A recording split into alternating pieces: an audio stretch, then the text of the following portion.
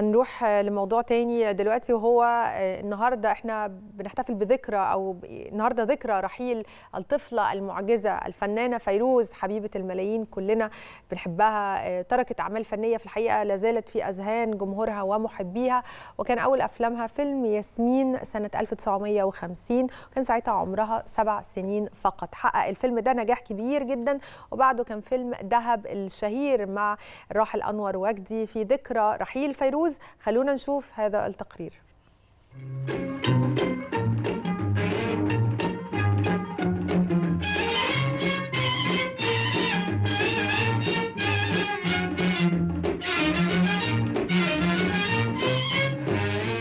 اليوم هو ذكرى رحيل الطفلة المعجزة فيروز التي تركت أعمالا فنية لا زالت راسخة في وجدان محبيها. كروان الفن وبلبله.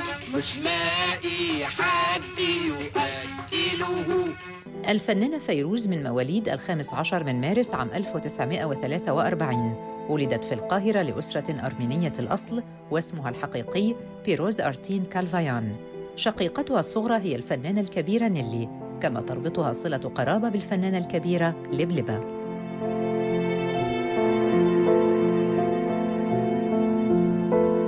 اكتشف صديق والدها الفنان الكوميدي الراحل إلياس مؤدب وذلك حينما لاحظ حركاتها الاستعراضية أثناء عزفها على الكمان في منزل والدها وتبناها الفنان الراحل أنور وجدي فنياً وغير اسمها ليصبح فيروز بدلاً من بيروز كما وقع مع والدها عقد احتكار بحيث تتقاضى ألف جنيه عن كل فيلم يقوم بإنتاجه أنور وجدي. يا حلاوة على الكلاكات من راجل أو من ست يا حلاوة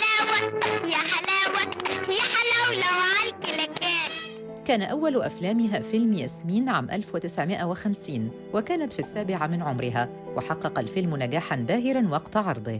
أنا كتكوتة نونو ودح أنا سفروتة حلوة وصح. غني معايا وقول ويايا نح يا نح خروف نضح من أشهر أعمالها فيلم دهب الذي قامت ببطولته إلى جوار الفنان أنور وجدي والفنانة مجدة وكانت وقتها في العاشرة من عمرها وحقق الفيلم نجاحاً كبيراً. جرجح يا ست بلطية يا مقلية. أنا مقلية شبر ونص يلا ربنا عصر في جسمك وطول في السمك. لا لا لا لا. لمي لسانك الزفر ده يا بلطية. دهب الدهب عيب يا دهب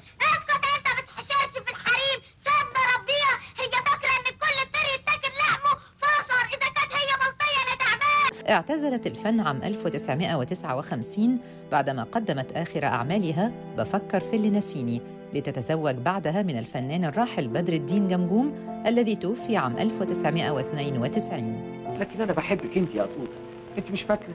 مش قلت إني خطيبتي؟ خطيبتك؟ لا متأسفة قوي يا شيرين.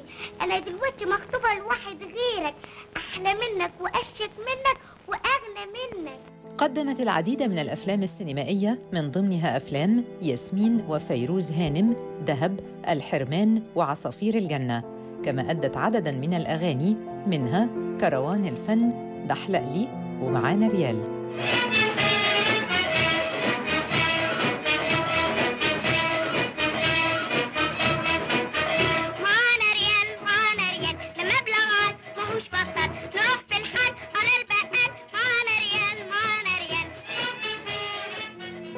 توفيت الفنانة الطفلة المعجزة فيروز في عام 2016 بعد صراع طويل مع مرض الكبد عن عمر ناهز الثانية والسبعين عاماً.